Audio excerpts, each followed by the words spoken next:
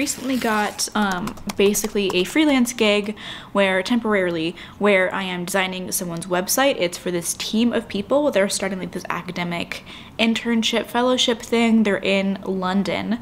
Um, and like I'm just designing their website in Squarespace and it's a team of three people so that's sort of like a lot of people to coordinate with and like figure out design stuff I've already started the project. They're paying pretty generously, which is really nice. It's like definitely worth my time to do this for sure.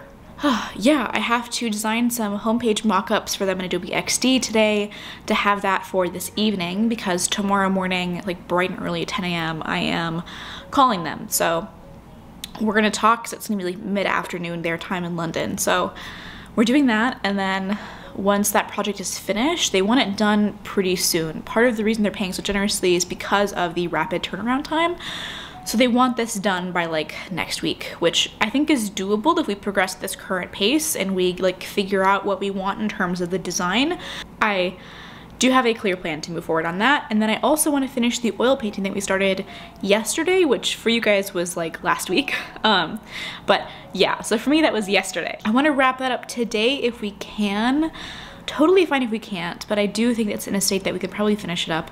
And it's just supposed to be like a like a really quick practice painting. I want to do more quick paintings and oils. I want to do more like small things that I'm not spending a super long time on. Um, because I do have a really, really big panel that I want to work on and I know exactly what I want to paint on it, but I want to get some more practice with oils first.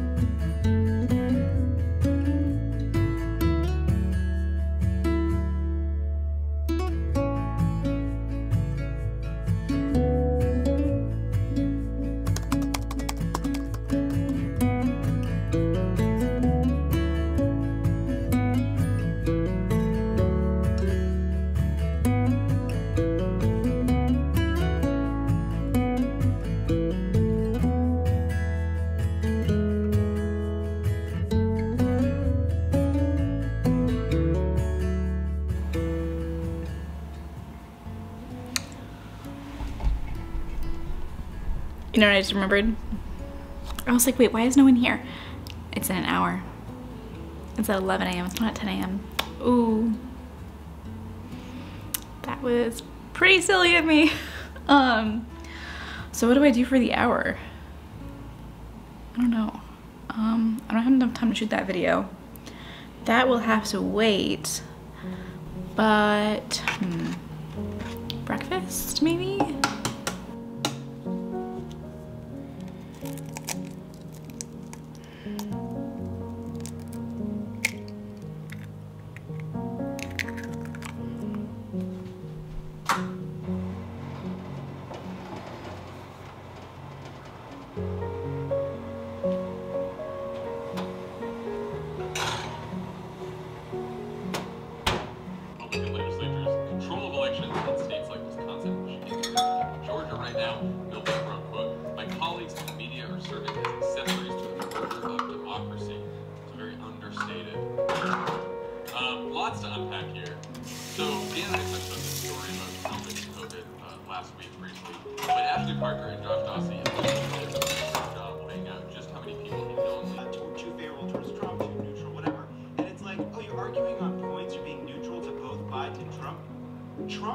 Tried to fucking kill half the press corps, and then for good measure tried to take some grieving families with him.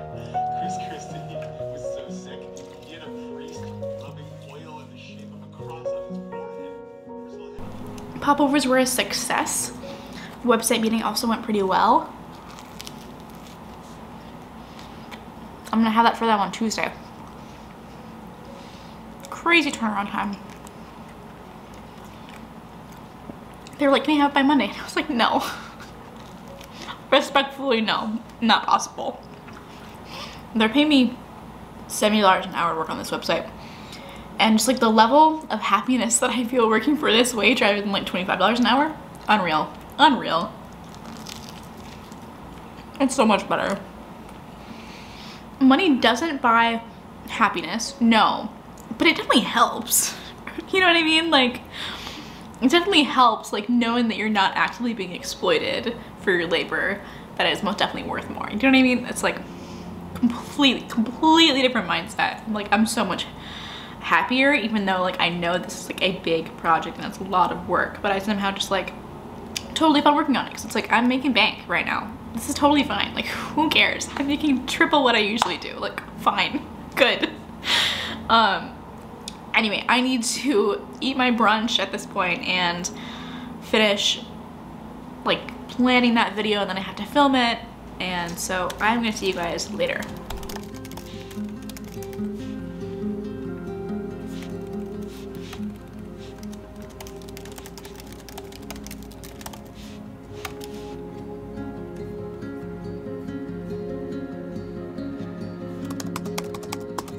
Oh jeez, okay. I really feeling the pressure now.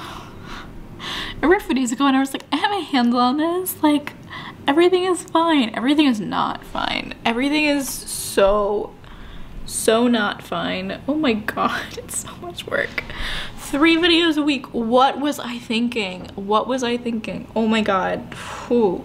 I made such a huge mistake. I'm editing the video. I'm like maybe a quarter of the way through the edit and first of all I had to re-film this video because I filmed it yesterday and then I got a massive headache after.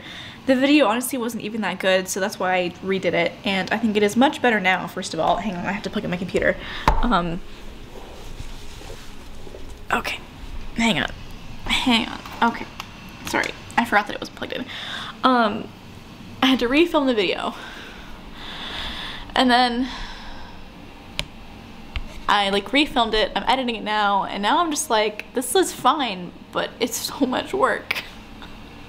Editing is so much work. And I don't want the video to be garbage. I don't want the video to be garbage. Sorry, the fan is on. I'm really sorry about that. Um, I really don't want the video to be garbage. I want it to be good. I want it to be a good video, but it's just, I'm so tired. So, so tired. Uh, and I have this web design client that I'm working with that I've been telling you guys about. They want the video to go live on Tuesday, which is doable, but I don't I don't know if I'm going to be able to like have a video on Monday if they want the website to go live on Tuesday cuz I'm to have to I'm to have to work all day on Monday.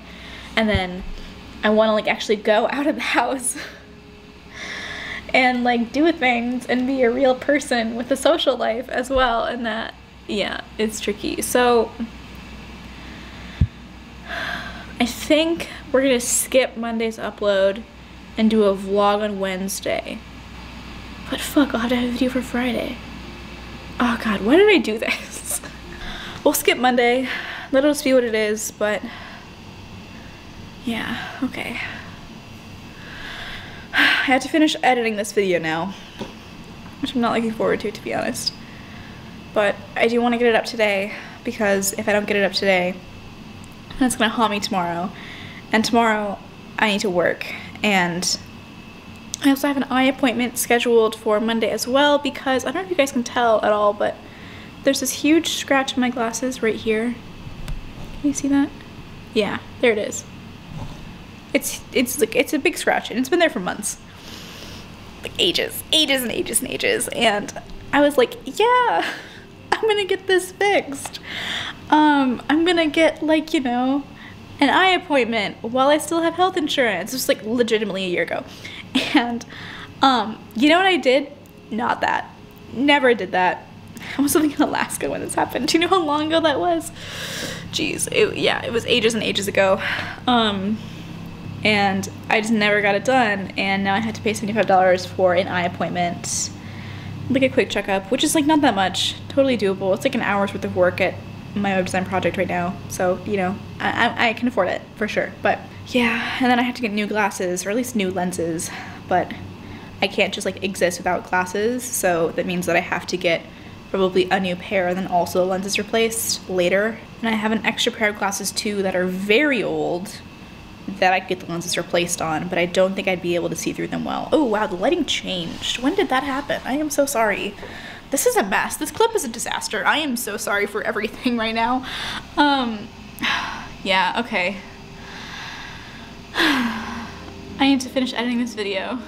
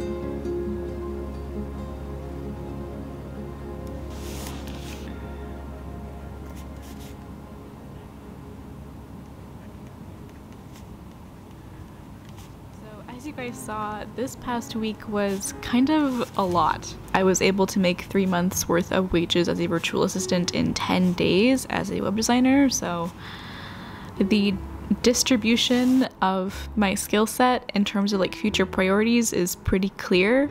I'm probably going to try and get more web design work at the same pay scale in the future so that I can scale back my work as a virtual so I can scale back my work as a virtual assistant and yeah, I mean, there are plenty of people who are able to make six figures just doing web design, and I don't want to be one of those people. Obviously, I have very different goals for my own future and where I want to be, but because I have these skills and I'm trying to transition right now away from my current job and into something else, I think that this could be a good skill set for me to develop more and try to get more clients in this arena. And it was nice to be able to brush up on my web design skill set because, as you guys know, I've been procrastinating designing my own website for probably a year now, something like that. It's, yeah, it's been a lot. And I've sort of been just putting it off and putting it off again. But as you guys saw in the 2022 goal setting video that is to date my most successful release ever in the first couple of days so that is amazing.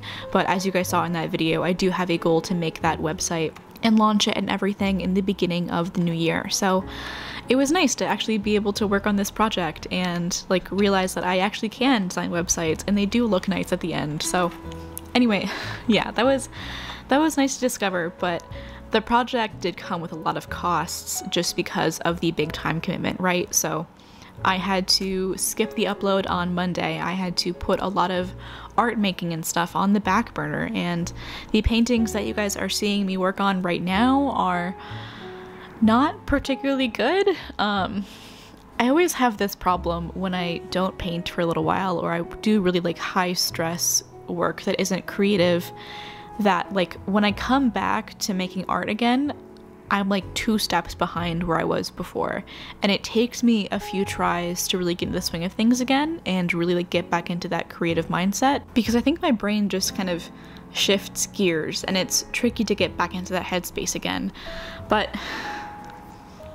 So we try painting this landscape two separate times, one in a portrait orientation, the next in a landscape, and neither of them turned out like the way that I wanted. I do think that the landscape one was probably a more successful composition, but still I wasn't able to execute it quite right, and I think looking back at these painting processes, I wish I had started out in oils and done just like a quick study maybe on my oil painting paper instead of trying to do gouache again because gouache is at least for me just like much harder and it requires a very different workflow than what I'm used to with oils and I think oil painting is so deeply ingrained in my brain and my like way of working that I think it probably would have been more successful had I tried it in oils but that is a project for another day we do end up settling into this like orange tree branch painting. Um, not exactly sure what it is, but it is very pretty and I did love working on this. I found that like because of all of the abstract shapes involved here, I was able to get really expressive and have a really fun time with it and I think that is kind of like the painting that I needed in my life after this really high demanding project. Just like something where I could check out a little bit and just put marks on the page and see what happens and approach it from a more like loose exploratory kind of perspective and I think that's what really helped me transition back into creative work. So, I definitely so, I definitely had a little bit of burnout this week for sure. Nothing really intense. And I think I'm going to take the rest of the day off after I finish recording this voiceover to just sort of unwind a little bit. And it is really hard for me to take days off just because, like, there are always just because there are always other things that I can do for this channel, I can always work on revamping old thumbnails. I can always work on crafting my strategy. I can always work on researching keywords and sort of the work of a content creator kind of never stops. And because of the nature of freelance work and being an independent artist or trying to become one, there are no set working hours. There are no regimented work schedules where I have like concrete days off. And you guys didn't see it on this vlog, but I worked like all day on Saturday, and I did take all of Sunday off, which was really nice. I was able to go to this board game cafe in the west side with some of my friends, so I met my friend Margaret in college, but she met her friend Julian in high school, and now Julian lives in New York City. So Margaret hooked me up with Julian, and we've been hanging out recently. We went to go see the latest Wes Anderson film together. That was a lot of fun. A few, I think it was over a month ago now. And this past weekend, Drake and I went to go meet up with Julian and his boyfriend Jack at Hex, which is that board game cafe that I mentioned, and it was a lot of fun. I really, really recommend it if you live in the city. It was just it was a blast. It was like so enjoyable to just like play board games and also be able to order mozzarella sticks and garlic bread. It was just, it was a really good time. I really highly recommend.